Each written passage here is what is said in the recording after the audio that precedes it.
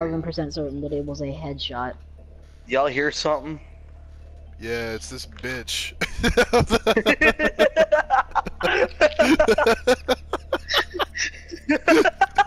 That's not what I meant to say.